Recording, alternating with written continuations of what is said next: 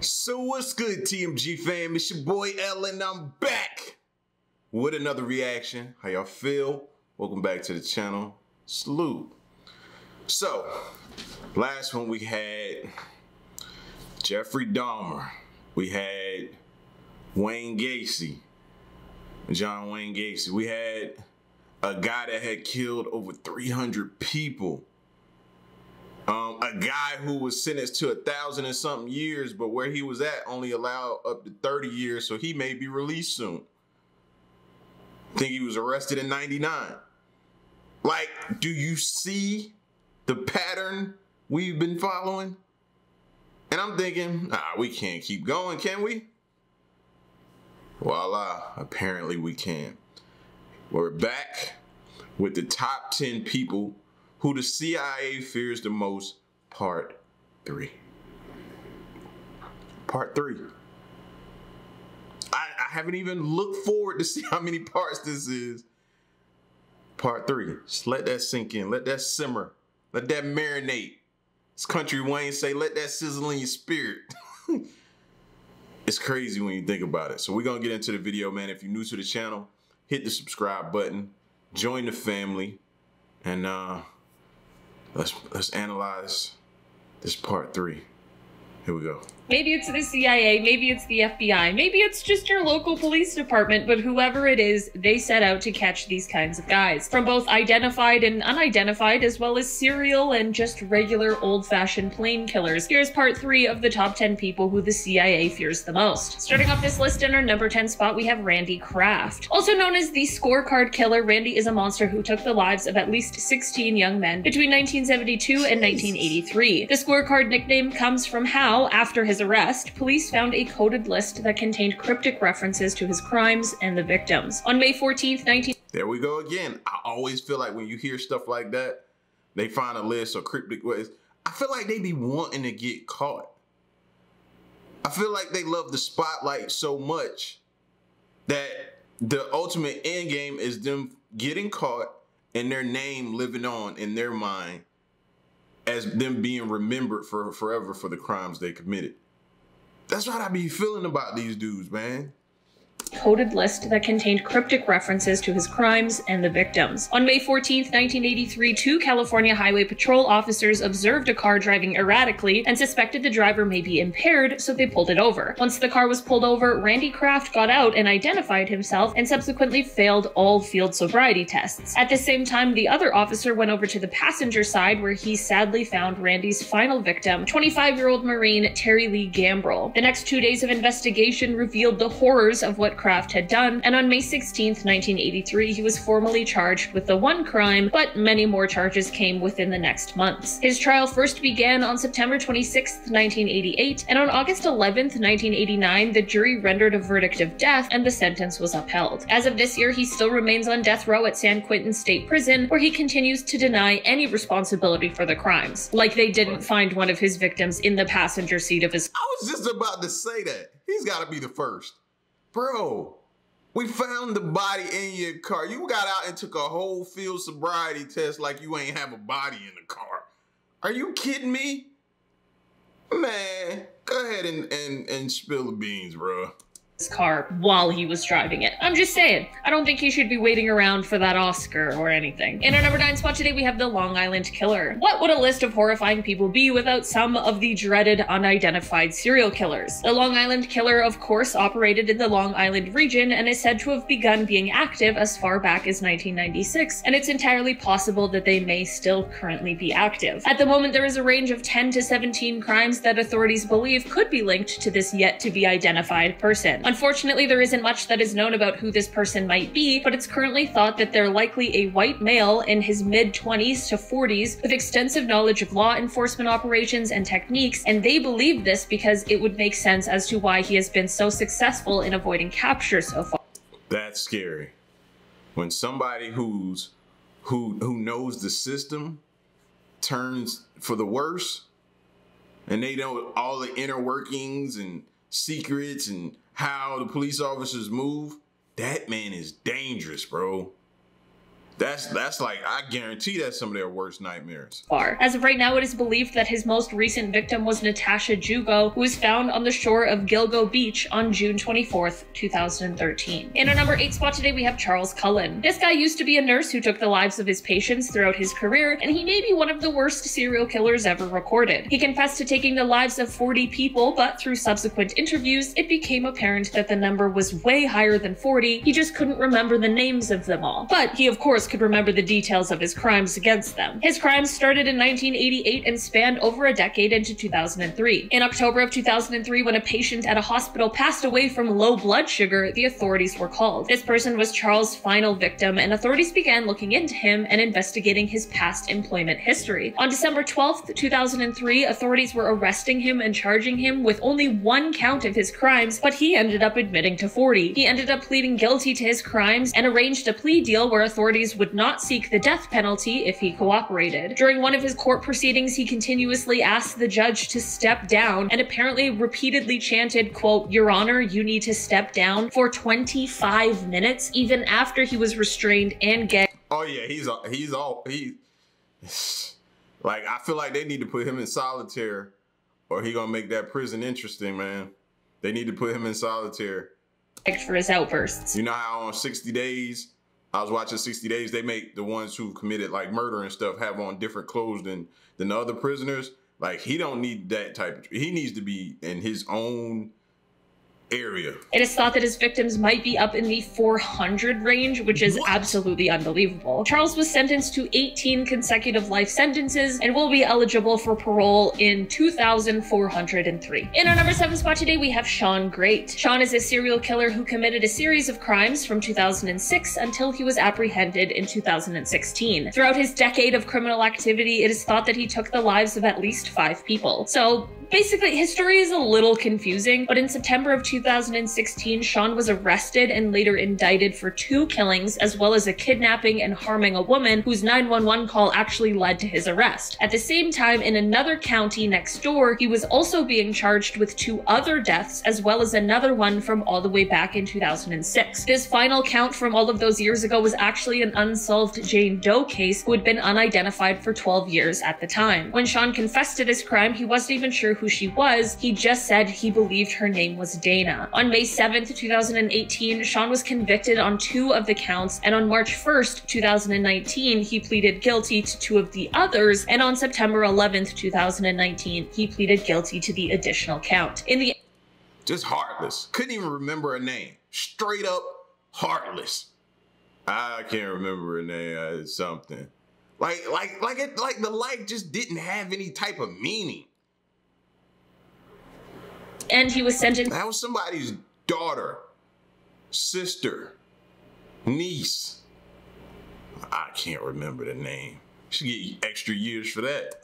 To death and has remained on death row since that final plea and sentencing, and he is currently scheduled to be executed in 2025. In a bittersweet turn of events, in June of 2019, that Jane Doe victim was finally able to be identified through the DNA Doe Project, and she was identified as 23 year old Dana Nicole Lowry from Minden, Louisiana. It definitely can't bring her back, but there is some comfort in knowing her family finally received some answers. Prayers to her family, to all the family families of these victims.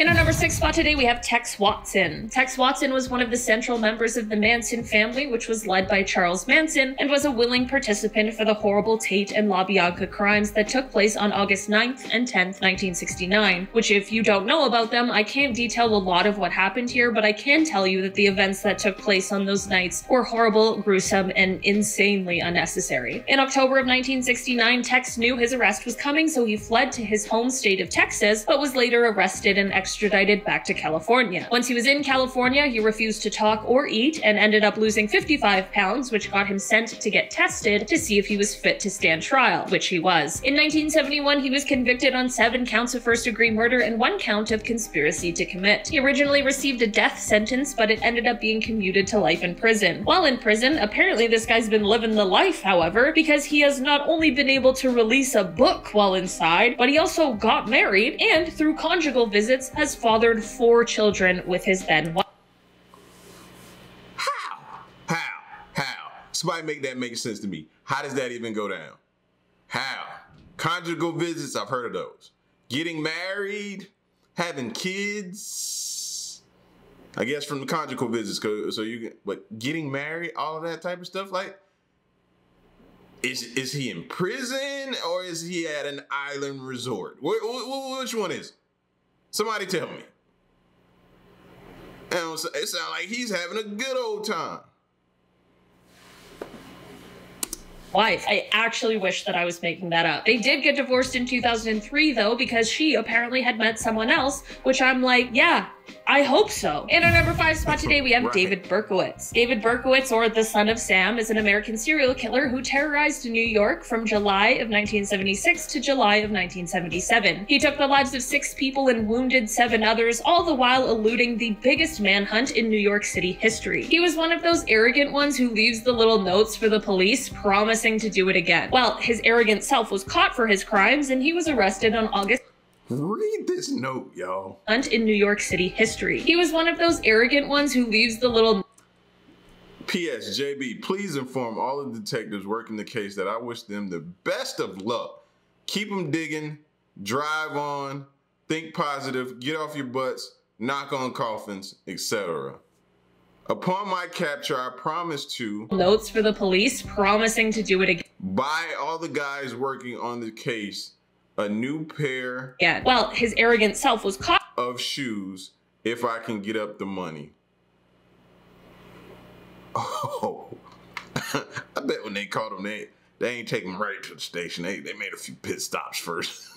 nah, I'm kidding. I'm playing for his crimes, and he was arrested on August 10, 1977, and was indicted for his crimes. He confessed to all of them and claimed that he was just obeying the orders of a demon that had manifested itself in the form of a dog that belonged to his neighbors. These killers really like to come up with some outlandish excuses. It's so wild. He was found mentally competent to stand trial, and he pleaded guilty to his crimes, which left him sentenced to six consecutive life sentences. He later admitted to making up the dog story, which, like, oh, really? But he did say that instead he was a member of a violent satanic cult and his crimes were committed as a part of that. These claims were investigated, but no one has been able to confirm or deny them, and at this point, he's like the boy who cried wolf, so it's just hard to say for sure. In our number four spot today, we have the Doodler. While this nickname sounds very sweet, it, like everything else on this dark, dark list, is very sinister. The nickname that this unidentified killer received is due to his practice of sketching his victims before taking their lives. I told you it was sinister sinister. Don't say I didn't warn you. This identified killer committed their crimes in the San Francisco area from January of 1974 to September of 1975, and they specifically targeted the gay community. It is believed that 14 deaths can be attributed to this killer, while three others were injured in the process. Unfortunately, because of stigma and the sensitivity surrounding gay men at the time, the three who survived this monster were very reluctant when speaking with authorities for fear of being, quote, outed as a result of it. This has led to there being very little information for them to work with in terms of identifying the man responsible. For a while, there was a primary suspect, but that person has never been officially charged because, sadly, none of the survivors felt comfortable enough to testify in court. There's a very real chance that authorities know who the killer is, but just don't have the evidence to prove it in a court of law. That truly is a terrifying thought. In our number three spot today, we have Quincy Allen. Sometimes when I'm researching for these videos, I come across somebody that I haven't heard of before, and their story absolutely blows me away, and this is definitely one of them. Quincy Allen is a man who went on a crime spree between July and August of 2002, where he took the lives of four people. His crime spree was actually inspired while he was in prison serving time for stealing a vehicle. It was here that a fellow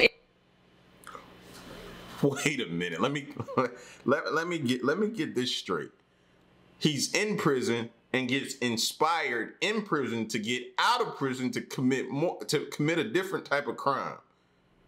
That don't sound like rehabilitation to me, bro. That sound like he's in prison and he he went to prison with with a, a bachelor of stealing cars and came out with a doctorate of murdering people. Like how? That's why I was talking about earlier, bro. Like rehabilitation has got to be better inmate decided to start recruiting others and told him that he could get Quincy a job as a mafia hitman. I can't imagine what that's like. Is that like when those MLM girls slide in your DMs? Hey, girly. you could be making this much a month. when Quincy was released, he decided to buy a shotgun so he could start practicing. Man, I wish he showed this kind of dedication to literally anything else. Quincy started off his horrific crime spree on July 7th of 2002 by attacking a 51-year-old homeless man who was sleeping at the time. Luckily, this man was able to survive the attack. His crimes continued until he was arrested on August 14th, 2002. After his arrest and trial, Quincy received a sentence of death and is still on death row awaiting execution. His sentencing did not deter him from the criminal life, however, as in 2009, Quincy, along with another inmate, planned an attack on a correctional officer at the prison they both reside at. In the end, the guards had to use rubber bullets to subdue the pair. The correctional officer they attacked thankfully didn't succumb to his injuries, but he was forced to find another job, as after the attack he was suffering. Oh, this, you wouldn't have had to force me. Oh, that's it, I'm done. And that's crazy, bro, because if you watch some of those shows, those guards have literally no protection, no barrier between them and those inmates. And the number of inmates to guards, that ratio is staggering, bro. Just watch the 60 days in. It's like you're looking at like 50 inmates to one guard at this desk. And this desk don't have no barriers around it or nothing to keep them. No, they be all behind the desk, all up up next to the the uh, correction officer. I'm like, what? No protection, none. Like, I I feel sorry for them. I seen some of them in that show, man from PTSD and anxiety attacks, and all the charges pertaining to this specific attack were later dropped by prosecutors who suggested that there was no point trying someone who was already on death row. This did, however, get Quincy and the other inmates stripped of all of their privileges at the time, which included outside recreation, visitation, phone use, and canteen items. Quincy was intended to be executed on January 8, 2010, but there was a stay of execution that was accepted and a new date has yet to be announced. In our number two spot today, we have Edmund Kemper. Edmund Kemper is an American killer who was convicted for taking the lives of 10 people, including his paternal grandparents, as well as his own mother. He is apparently most notable, I'm gonna say, aside from the fact that he's a serial killer, for his height of 6 foot 9, and he is apparently quite intelligent with an IQ score of 145. Impressive height and IQ score, less than impressive choices though. His first crime took place when he took the lives of his grandparents. After this crime, he was diagnosed with paranoid schizophrenia and spent time in a hospital hospital before it was determined he was rehabilitated and he was released at the age of 21. After his release, he unfortunately went on a spree where he would target young females who were hitchhiking. After his final crimes, he ended up confessing and turning himself in, which is something we definitely don't see a lot of the time. When asked in an interview why he confessed, he said, quote, the original purpose was gone. It wasn't serving any physical or real or emotional purpose. It was just a pure waste of time. Just gonna let that sink in. Three court-appointed psychiatrists examined and observed him and found him to be legally sane, and thus he was able to stand trial. On November 8th, 1970. Yeah, y'all knew that by his IQ score. I don't even know what y'all even conducted that test for. A3, the jury deliberated for just five hours before returning with a verdict of guilty. He has been eligible for parole since 1979 and has been denied every time he applied, one time saying, quote, society is not ready in any shape or form for me. I can't fault them for that. He is eligible to apply for parole again next in 2024, which is kind of terrifying. I'll agree with him on that quote. We are not ready for you, and I don't think we ever will be. In our number one spot today, we have Dale Hausner and Samuel Dieteman. Known as the serial shooters, the crimes these guys committed are definitely on the list of fears I have, which I'm pretty sure spawned from my Criminal Minds episode. These two were actively committing these crimes between May of 2005 and August of 2006, and basically they were arsonists who would randomly set fire to objects, but they would also drive around and commit random drive-by shootings. That's the really scary part. The fire thing is also bad, don't get me wrong. There's just something about completely random acts of violence that really scares me. In the end, a series of tips is what led investigators to identify. Yeah, because they ain't had, they didn't care who it was, just random.